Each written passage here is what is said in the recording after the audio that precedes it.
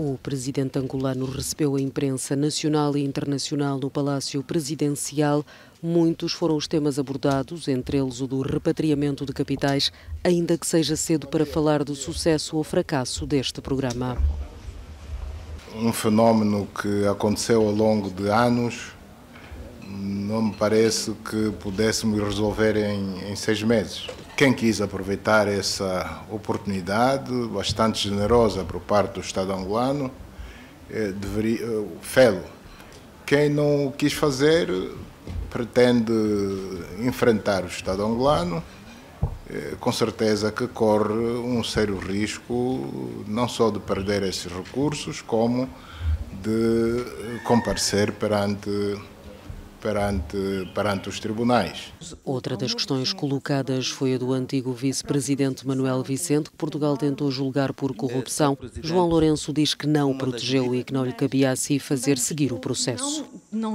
Se a justiça entende que para prosseguir com a sua ação, enquanto órgãos de justiça, importa que sejam levantadas as imunidades de um determinado deputado, solicita o levantamento das mesmas diretamente à Assembleia Nacional.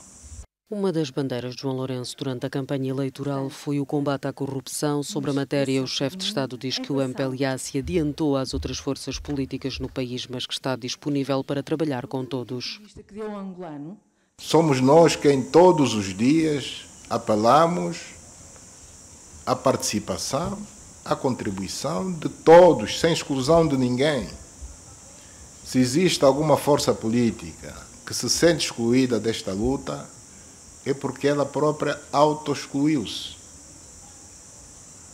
Nós só tomamos a iniciativa e talvez o facto de termos tomado a iniciativa não tenha sido do agrado de algumas forças políticas. Com certeza estavam à espera que essa iniciativa fosse deles. Nós tomamos a dianteira, tomamos a iniciativa, mas não afastamos ninguém.